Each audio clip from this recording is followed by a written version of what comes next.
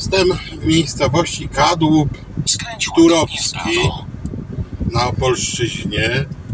Będę tutaj teraz y, jadąc drogą 463 taki bardzo fajny przebieg drogi. Teraz jechałem drogą podporządkowaną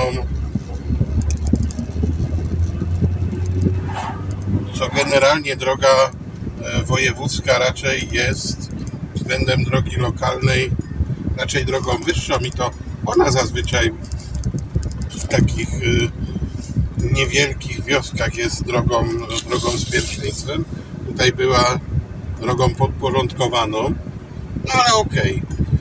Y, Natomiast tak patrząc po tym, w jaki sposób w ogóle tutaj ta mam przebieg tej drogi pokazany, tak patrząc na podglądzie nawigacji, to tak można powiedzieć, troszeczkę się wije, troszkę krążę tutaj w tej, w tej okolicy. Tutaj miałem zresztą chwilę temu znak e, odnośnie drogi Za 400 krętej. metrów skręć w lewo.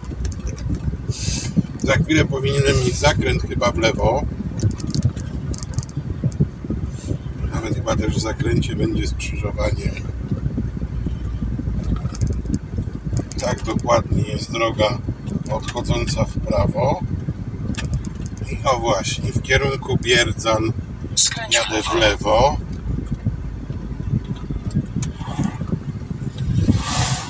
I znowu, droga z pierwszeństwem jest na wprost. Droga wojewódzka skręca i jest drogą podporządkowaną. Na wprost mamy drogę, drogę lokalną, która,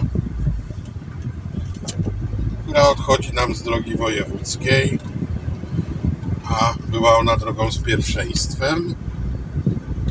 Za chwilę znowu będę łukiem jechał w prawo.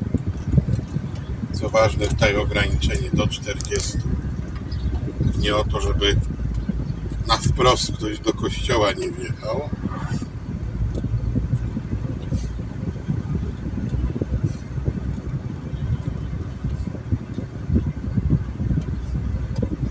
Taki zakręt dość się ciągnący.